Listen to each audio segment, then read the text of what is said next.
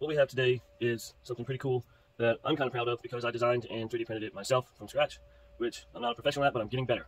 I'm learning to design things and print them, and it's a lot of fun. But what I made is something to reuse your disposable e-cig batteries. So when you take an e-cig apart and you pop it open, you slide the stuff out, you end up with a battery similar to this, all different shapes and sizes. Um, here's one here, and here's one you see here. Um, what they are very similar to is a battery that I use a lot in my headlight and some other things is this. This is a 18650 battery. It's the batteries that are pretty much powering the world right now. Um, but there are lots of devices that you can use a single 18650 to power, such as my headlight, which takes a 18650, or lots of other devices. And more and more as, as time goes on, there, there are more devices coming out that take them. So if you have a device like that, then this trick could be very handy for you.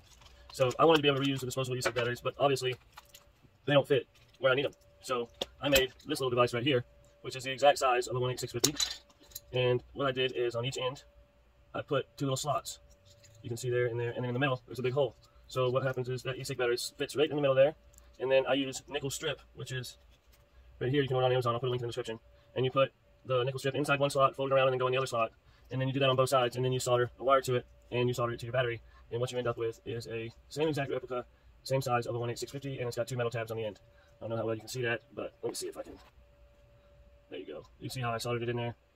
And like so, real simple, but I just thought it was something really cool. So, and it's also, it's got your positive and your negative right there, the red side, the black side, so you can see. And you just pop this bad boy in there, just like you would a 18650, it fits right in there. Bam! That's right.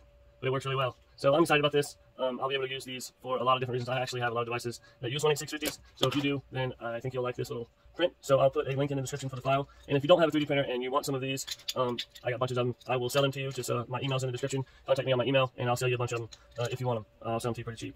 So that's my video for today, guys. I hope you like it. 18650 adapter for disposable e-cig batteries. Uh, don't forget to like and subscribe if you like this content, and I appreciate you watching.